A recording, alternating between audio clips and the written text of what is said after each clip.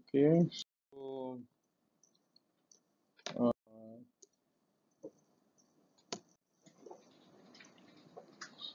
so what is uh, nature of decision making? What is this all about decision making? Decision making involves the selection of a course of action yeah, from among two or three more possible alternatives in order to arrive a solution of a given problem. Simple example lah. Now you want to go from here to Kuala Lumpur. There are three ways uh, road that you can uh, go to Kuala Lumpur. From Seramban, there's the old road which pass through the mountain, Pajam, everything down there. You still reach Kuala Lumpur. Then we have the highway, the, the old highway, Seramban Kuala Lumpur highway. Then we have another one, Lekas Highway. Start from Jalan Jelebu there, straight to Kuala Lumpur. I'll give you example lah. So there's three road leading to Kuala Lumpur. Kuala Lumpur. You need to make a decision which one you want to use to go to KL. Uh, this is a good example lah. So if I'm the case, I will make, I have to do, to discuss, I mean if you're discussing with your friend, which these three route that you should follow to Kuala Lumpur.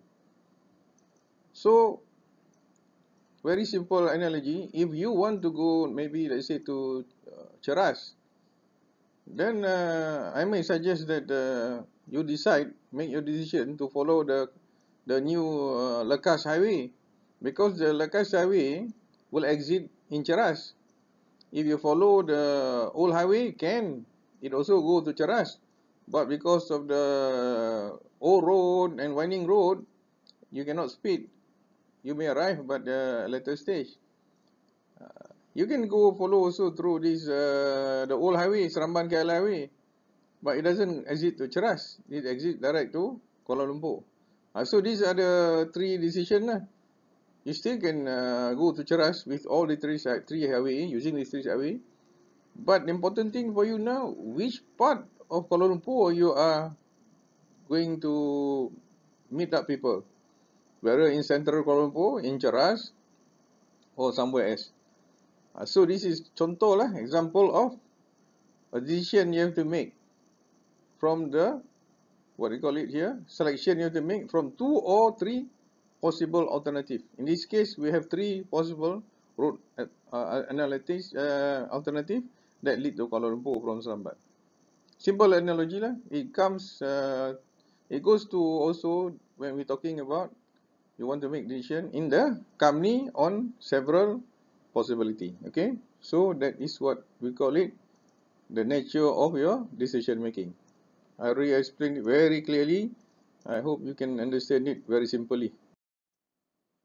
Okay, without decision making, managerial functions such as planning, organizing, directing, controlling, and staffing cannot be conducted. We already learn, plan, we already learn. Uh, PLOMC, iaitu planning, uh, organization, directing, controlling. So any work you have to do this uh, for function, you need a decision. One, you have the decision, then you can do the planning. You can do, do the organizing. You can do the controlling and so on. So without decision, specific decision, the management team cannot follow through the managerial function. So that's why we need to make a decision from two or three alternative. You cannot implement three decision uh, to to do the planning, organizing, and everything because it doesn't work that way. Nobody can walk that way. You have to either three or four, you have to choose only one, then only you can implement the uh, function.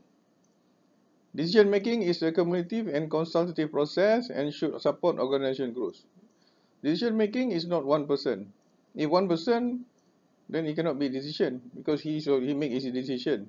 Decision making must be two or three people management in the company which discuss the alternative and make the decision. So that's where it's a cumulative, two or three or more people, yeah, not one person. The main function of every management is making the right decision and seeing them through to their logical and through the execution. So around two, three, four, five alternative, you need to think one is the right decision. It may be wrong because if it's already perfect, correctly right, then no need to discuss and make decision, right? So every decision doesn't mean it can be right. It also can be wrong, but you have to make the decision out two or three alternative. Then you have to see through the decision through your planning, organizing, tracking, control, controlling, stopping, and so on. So does it mean that you make decision is a right decision? Sometimes it's also wrong decision. Sometimes it fail also. If every decision is right and is going to success, then there's no problem in this world. Everybody will sleep at home. Every management decision also affect employee morale, performance, ultimately influencing an overall business performance. Of course, when you make decision, sometimes uh, staff have to work extra, have to go back late or kind of thing. Yeah, this all will affect the employee morale or kind of things. But then you have to address it in a different situation. Decision have to make and you have to complete the goals. The importance of decision making in management is immense as the business policy and strategies adopted ultimately affect the company output and performance. As I said just now, you make a decision, you know, you make a wrong decision, indicate at the end of the day, you won't achieve the goals. In this case, you may not achieve the output, the performance that you want to make. So, any decision is very immense, that means it's very, very important. Yeah? Wrong decision mean wrong, that means you lose money. Decision making is the coherent and rational process of identifying a set of feasible alternative and choosing, of course, okay, we already explained that. It's just uh, repeating only. Type of decision, decision making, problem solving, continuous process analyzing, considering various alternatives. I already explained. There's nothing much down there. There are two basic type of decision. Uh, program decision, non-program. Okay, let's see what it is. Managers make problem solving decision under three different conditions. Certainty, risk and uncertainty. As I said just now, not every decision is certain. All managers make decision under each condition, but risk and uncertainty are common to be more complex and unstructured problem faced by top manager. So what we're trying to say, decision, normally you make, everybody agree under this condition, we can make decision. But when you're implementing, there's a risk factor that you doesn't see when you make decision. You can only see the risk factor when the implementation side. Uh, so this is uncertainty, that is the problem uh, implementing any decision which is common and sometimes it become more complex and sometimes become unstructured as you go along implementation the decision. So this is what we're trying to explain. Doesn't mean as I said every decision you can run it smoothly, it can be achieved because of this uncertainty, risk, uh, hurdles, problems that you will count, encounter during the implementation, the organization and, uh, and the production time. Decision are made under condition of certainty when the manager has perfect knowledge of all information needed to be made decision. Well, there's sometimes you have all the, let's say you want to cook. You want to make a very special dish today. You need 10 ingredients. You have all the 10 ingredients. Of course, with all the 10 ingredients, you make can make a very good decision how to cook and how the food is going to taste because you have all the ingredients. So in this case here, we said decision are made under condition of certainty. If the ingredients for the decision is certain, um, that's for sure, that will be the decision made can be implemented easily and uh, there's no uncertainty. That's one condition lah. As I said just now, how you want to do your cook, you have all the ingredients. But if you have only nine ingredients out of ten ingredients, uh, that's where the decision making, you still have to decide, but you only got nine ingredients. You still need to cook. You still need to eat. Uh, this possibility that your food is not going to be as good as what you plan. Yeah? This is what we're trying to explain. Very simple analogy I give to you. Yeah? This condition is ideal for problem solving. The challenges uh, in, is simply the challenge is simply to study the alternative and choose the best solution. So when you make decision, as I said just now, it's not perfect. It's only one of the best alternative that you have to choose. You have four. Doesn't mean that all the four you choose one is perfect. All the four is not perfect. What what is the best alternative of the four? Uh, this way the decision making is important. This way is the business in the company is all about. If everything is clear, black and white, then you don't need have decision everything is clear, why, why should need to discuss? For example, why you go to court? Why you need a judge? Because the law is not clear. You said white, the other said yellow, or the said you said blue. So you need to go to the judge to see your argument, whether the paper is white, whether the paper said it's not white, purple, or kind of thing. So this is where you need the judge to make decision. Here, you make your decision in your company. So this simple, similar reason, reasoning. I give it to you. Yeah, all, all as example. Decision, I mean, under condition of certainty when the manager has perfect knowledge. This is same thing. Yeah? When the problems tend to arise in a regular basis, a manager may address them through standard or prepared response called program decision. Well, so if we know that the same problem come over and over again, for example, in the production of uh, furniture in a factory, suddenly something uh, broke down and that machine always broke down. So you know the problem of this machine maybe because of old or because of whatever thing. So it's like a program problem, that, that machine. So you know that once the machine break down, you know what to decide already. Uh, this one we call it program decision because it's always there for many times, you know, for many months already. Structured problem are familiar, straightforward, and clear with respect information needed to solve them. Uh, some other problem you have uh, encountered before, we resolve it. Uh, so when the problem come again, you just use the old uh, ways of solving it. Then we call it structured problem because it's already there. A manager can often anticipate this problem and plan to prevent or solve them. Well, since they have been repeating the same problem, even the manager can anticipate. For example, in my furniture factory, I know after 1,000 uh, production of chairs, this machine is going to drop, broke down for one reason or another. So once we complete 1,000 uh, pieces of furniture, we will do the servicing and maintaining. Same like your car lah. Uh, they will say if you buy car, your mother, father maybe car, buy car, in future you buy car. They will say you please service your car after 5,000 kilometers, after the car running 5,000 kilometers. Here, what is going to happen?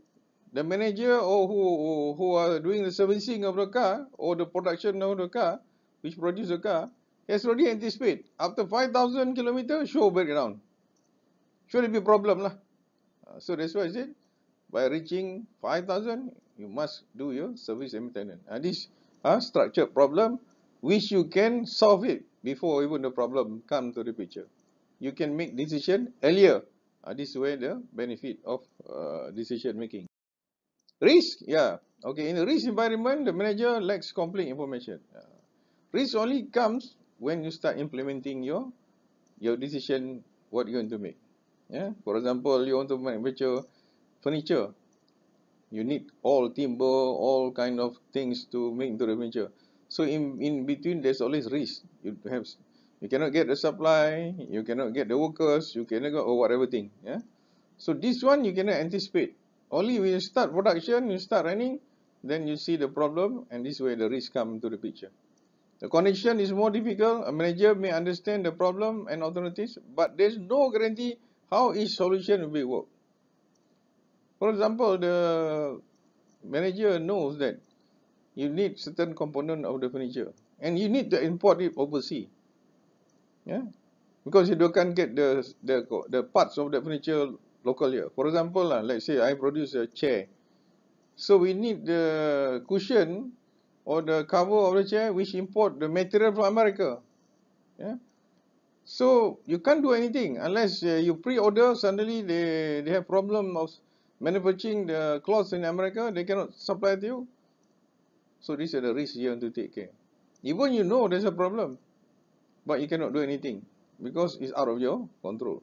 So risk is fairly common decision. Is fairly common decision condition for manager. So yeah, sometimes you have to decide alternatively. In my case, let's say I cannot get the material for my chairs. Uh, seat or cover uh, so we have to look maybe local supplier to do to to to replace it so this is a risk lah maybe with the local supplier the quality is not there everything but you need it to complete the furniture but whether you can sell or not or have to sell at a lower price that's a different issue lah we are just talking about risk certainty Certainty is a condition under which the manager well informed about possible alternative and their outcome. As I said just now, lah. Uh, like the car manufacturer, they know that certain after 5,000 kilometer, this car will sure break, will sure will break down. So we must get you service. So that is very certain. So you can overcome the problem by making earlier decision. There is only one outcome for each choice. Okay lah. Sometimes like service car, there's no alternative. Either you service or don't service. There's only one choice that you have to take. You don't service, you break down. Uh, you can like say just now the furniture, I cannot get the material from America. We can source it locally maybe, but different quality lah. But like in this case, servicing, you only got one choice. Either you service or you don't service. So either you service, you'll be okay, or you don't service, you're going to break down. So no choice. When the outcomes are known and their consequences are certain, the problem of decision is to compute the optimum outcome. So, for example, like the give simple example the chair seat just now lah the material for the seat yeah? so you know already this thing if they cannot supply you have to look for alternatives either local supply or from other country so you already do your computation. What will happen if you cannot get the original material that you need for your furniture? So all these things uh, the manager have to prepare the decision making. If plan A don't succeed what is your plan B? What is your plan C? So this is very important. But if you don't plan then suddenly you don't get a supply. You don't know where to get your supply for your material to complete. Uh, that's a big problem for the whole factory the furniture is not going to complete. Yeah? So this is what important decision you have to make. Decision 1 decision 2 alternative 3 4 or 5 to make it your production uh, achieve the goals lah that you want to uh, achieve. Similarly, if there are more than one alternative, they are evaluated by connecting. Well, if there is more one alternative, let's say just now, if I need a supplier for my material for my chair, I cannot get from America, but I can get it from other country. You can evaluate conducting the cost study, uh, do the due diligence and everything. You can choose from other alternative from many other suppliers. Yeah, The condition of certainty exists in case of routine decisions such as allocation resources for production, payment of wages and salary. Those fixed costs, eh? Uh, fixed cost is uh, certain really. Salary, wages, yeah, uh, resources, materials. So this one is not much an issue because the the cost is already fixed. You just can uh, make decision based on the cost. Let's say for example, today the factory worker, 10 of them got sick, COVID cannot work. 10, 10 out of 100 cannot work. So one day is how much is the salary. So the the manager can employ maybe temporary workers for the next one week because of 14 days since these people under quarantine. Uh, so this kind of thing. Lah. So you you do it this way.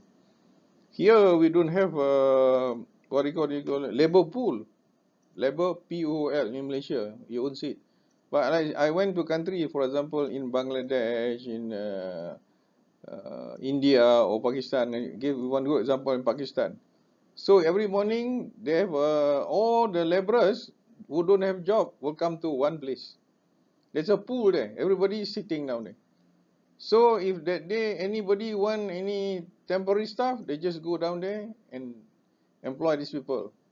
How many want? 10, 20, how many days? Two or three days? So they will work. So after finish one, two, three, they will go back to the pool the next day looking for other people to pick it up. Uh, this is where, as I say, is mentioned here that if just now if your workers stop not working, easy to go to the labor pool and uh, employ them and uh, work to your factory. But uh, unfortunately, we don't have that system in Malaysia, so you maybe don't understand that kind of system. But other countries, Africa and everything, they have this system. Those people out of job, they just go to the labor pool or we call it labor market lah. Uh, it's a market itself lah. Uh, you work for, you can you work today for me for ten dollars? Oh this will say no I I can't. You want to employ me fifteen dollars? Uh, macam beli barang lah, buy and sell thing also lah. Yeah. The condition of certainty exists in case of routine decision. Okay, we explain that one. Okay, there is a little ambiguity, uh, ambiguity and relatively low chance of making any impractical. ambiguity I mean tidak yang tidak tentulah. Yeah. So if you have all this uh, preparation uh, ready, so chances that you wouldn't don't have a much of problem. Okay, uncertainty. When information is so poor that managers can even assign probabilities to the likely outcome of alternatives, the manager is making decision in an uncertain environment. Certain thing, certain thing are very uncertain. Nobody knows. Huh? So cannot be helped. The manager have to make this decision, right or wrong. He only knows at the end of the day. But decision still have to make. You cannot say, oh, I have to wait. I don't know, not certain, not certain. Uh, then you cannot do anything. Because at the end of the day, if you don't decide on the uncertainty, you're not going to complete the job that you're going to do down there. So if you decide, so in the end of the day, may achieve the objective, or it may not achieve the objective. That is the risk. Yeah. This condition is most difficult. Uh, this kind of condition is most difficult for a manager. Lah. Uh, decision making under condition of certainty, uncertainty, it's like being to pioneer entering unexplored territory lah. Uh, like you jump into the deep blue sea without uh, any life jacket lah. Uh, that's how it do in business. It's not that easy. Okay, please understand. Business is like going to war. Uh, whether you're going to live or not live, nobody guarantee you. If every business is show profit, everybody do to business. Why you work for people? Why people working until they die for people? Uncertainty forces manager to rely on heavily on creativity yeah, and solving problem. It requires unique and often totally innovative alternatives to existing process. Yeah, so sure we need all this innovative idea kind of thing. That's where the manager do. If not, if everything you need no no no need to do creativity innovative then you just employ a robot to become manager lah. Correct or not? Why you need people to become manager? Because you need them to be creativity. You have have uh, how know to solve the problem. Otherwise we uh, now we have robot. We just appoint robot to become manager lah. If there's nothing to think of kind of thing? You understand? Yeah? decision making process. Decision making process help managers and other business professionals solve problem by examining alternative choice and deciding on the best route to take. Yeah. As I said just now, you want to go to Kuala Lumpur, where's the best route you want to take? This is again what we explaining just now. Using step-by-step approach is an efficient way to make thoughtful, informed decision and have positive impact on your organization short and long-term goals.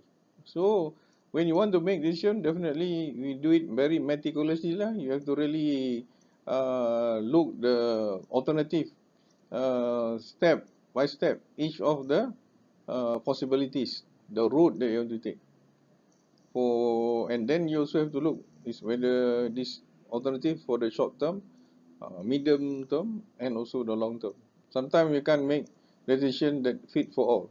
Yeah, you can uh, give one uh, decision, you can fit for all the short term, medium, and long term. So sometimes you make have to make decision for short term different, mid term different, long term different. Okay. The business decision making process is commonly divided into seven steps. Okay, managers may utilize many of these steps without realizing, but again, clearer understanding of best practice can improve the effectiveness. Okay lah, there's more detail how you want to do the we we explain here the seven step. One, identify the decision. The first step to making right decision recognizing the problem of opportunity and deciding to address it okay? Then number two you gather the information. You must have all the information. For example just now I said you want to cook you need 10, 10 ingredient. You have to get gather 10 ingredient to in order to produce the food that you want to make. So same thing like here yeah? gathering information. Uh, identify alternative. Then also you have alternative. As I said just now you want to Kuala Lumpur there are three road so you have to consider which alternative you want to go. So this is the thing that you have to present in your uh, meeting before decide. Then four with the evidence. Uh, each step you need to evaluate lah. Feasibility acceptability desirability and all so on. Uh, kena timbang lah how whether the evidence that you gather just now uh, uh, is worthwhile to use uh, it for your decision making. For example, again, I said you want to cook. Whether the 10 ingredient that you gather is the best that you're going to produce the, the dishes you want to do, or you have to change the ingredient. to buy different ingredient. Same 10 ingredient, but better quality maybe, or whatever kind of things that you need to produce your uh, product. So here is same thing, the evidence that you need to use before you can evaluate the feasibility and acceptability for your decision making. Choose among alternative. Again, we said just now, you once you have all the evidence in your in your in the front of your table, then you have to choose all alternative two or three, four that is available in your uh, analogy just now. Six, take action. Yeah, next step. You have to take action. They cannot be say all these four alternative. We don't know how to take action. You go back to square one, you go back and sleep. Cannot. All the four alternative, five alternative, you have to think which one you think is the best alternative to take the action. Yeah. Seven, once you take the action, then try to review back the decision you have to make. Make it sure, double sure, triple sure. This is the best alternative out of four or five alternatives. Or then the next step is to implement it and hopefully inshallah you you success yeah okay common challenges uh, decision making. What are the challenges that normally for decision maker? Although following the step outlined above will help you to make more effective decision yeah just now the seven one is a, the seven given is a very good base lah. There are some pitfall to look out for. So there's some also problem There are common challenges you the sorry here are common challenges you may face along with best practice to help you avoid them. So number one, having too much or not enough information. So as I said, your ingredient is not enough, so maybe your decision you make will not be correct. Apt, huh? APT. Misidentifying the problem. Uh, again, sometimes you don't understand really the problem the the real issue. Normally we uh, we fight over the real issue. One party said this is the problem. The other party said no, this is not a problem. It's another problem. Uh, if you misidentify the real issue or the real problem, uh, then you, it, I mean, once you start with the wrong road, you will reach into the wrong decision. Yeah. Three overconfidence of outcome. Some of them say, oh, this is the alternative, easy we just take this decision. Uh, they don't even go in detail to look into the the decision they make, uh, or we call it they make haphazardly the decision because for for overconfident unnecessarily, and then you also make a wrong uh, decision. Okay. Then we have this group decision. Group decision making, commonly known as collaborative decision making, a situation faced with individual collectively more choice from alternative before them. Well, basically, basically, let's say in production of car, so there are many division. So each division have their own uh, sort uh, problem kind of thing. So to solve the problem, every division have to come together for a meeting to make a group decision. They call it. Yeah. So group decision normally will affect big big company lah, not small company. Uh, if a small company like in uh, in the uh, you can opening a cake house, so you need a group decision to make decision. Maybe a few of the staff can make decision already. Here group decision we are talking about multinational, big company, international company. Yeah. So here is a different level of uh, decision that we are looking or we are discussing. Decision is then no longer attributed to the individual group member as well individual or social group process like social influence corporate decision. So I mentioned just now, it's not small group, it's going to be group, uh, big group decision. Decision made by groups are mostly different from those made by individual. For example, group tend to make decision that is more extreme than those made by individual members or individual tend to be biased. So normally, yeah, we're talking about group decision is a is in a in a big organization. So the some of the decision they make must be very extreme yeah, so that they can implement it.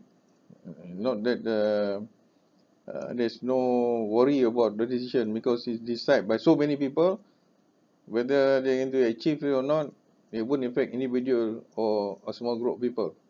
Whereas decision made by one person or two three person they always worry if the decision uh, is going to be not wrong, not achieved at the, end, at the end of the day, they will blame.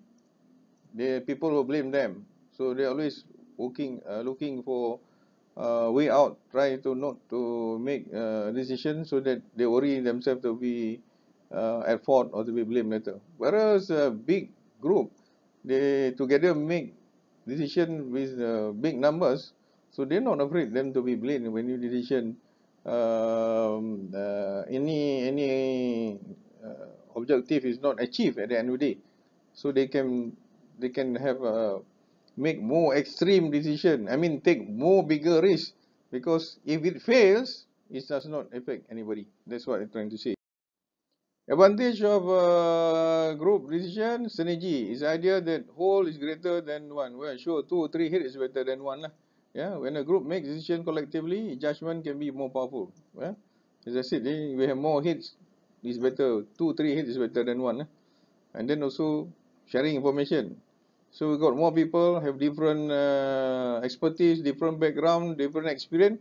So everybody can share their own uh, information to make the perfect or maybe make can make a better decision. Distribution responsibility disadvantage. Okay, disadvantage of uh, decision making. Group decision making result in distribution of responsibility that result of lack accountable for outcome. As I said just now, when too many people make decision, they not worry to make mistake. Yeah, uh, because it doesn't affect them personally or two or three of them, two or three of them. So because of that, they can make extreme uh, decision, and uh, if it fails, that's not. No one will be responsibility. So that's why we say here, the disadvantage is the diffusion of responsibility because no one is going to be really affected with the wrong decision at the end of the day. So that's also one of the disadvantage lah of group decision. Low efficiency, efficiency, of course, as I said, because of uh, nobody really focus whether the decision is going to be going to work or not. So out of ten decision, maybe six fail.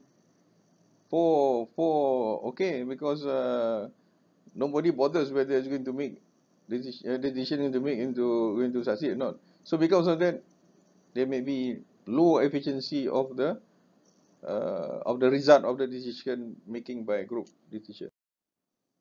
Group thing, one of the biggest disadvantage of perspective, group decision making a group thing. Uh, group thing is another problem because too, they said too many heads spoil the soup also lah. Uh, dia cakap tu, dia cakap ya. Yeah. So also there's another problem, disadvantage lah. Uh, as I said, we're talking about advantage and disadvantage. In anything, there's always positive and negative. You can have a perfect. If there's perfect, then we are not in the world. We are in heaven now. Yeah. So there's always plus and minus here and there. But we just need to know lah.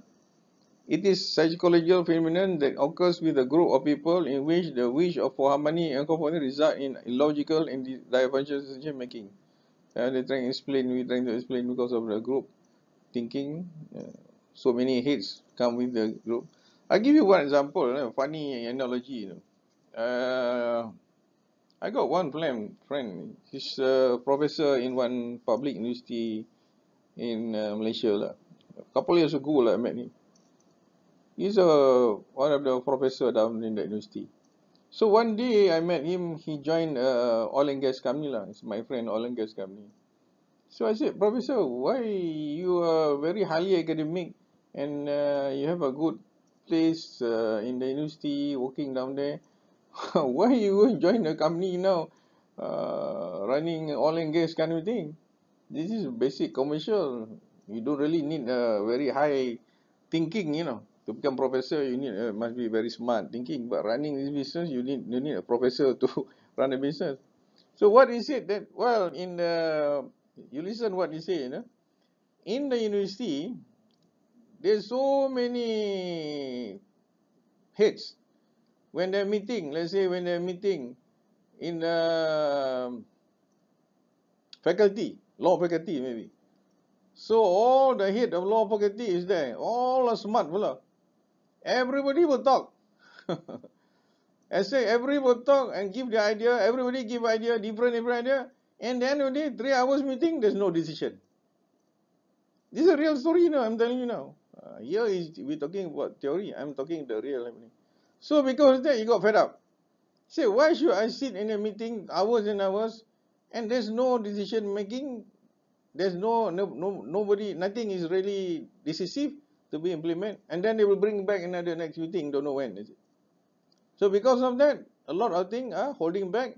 And that's why you can see in public university, they are not as good as the private university. If the public university are very good, there's no need. If the public university is so good, I think there's no need private university. Why do you need private university? Uh, one of the reason lah why private university thrive, why private university can succeed, because private university work faster than the public university. That's my view lah. Maybe you go and check with your father or mother whether I'm right or wrong. I'm just telling. So because of too too much hate, spoil soup lah. Yeah. Uh, so this is about group thinking lah. I give you a better example than you read Ramdan. Yeah. Group decision making technique. In order to eliminate group think and group shift from group, we can use different technique lah that will help us to collaborate.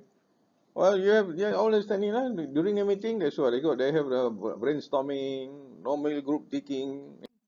Uh, what is brainstorming? You can read down lah. Everybody give their own brain lah. As I said just now in the university, everybody give their own brain. They storm like hell. Nothing come. The day. Uh, normal group thinking technique is similar to brainstorming, except the approach be more structured. Okay, that's a uh, that's a summary as I told just now. The objective today. So thank you very much. Uh, won't take much long so that you can discuss further uh, in the class lah. Yeah. Okay. Assalamualaikum warahmatullahi wabarakatuh.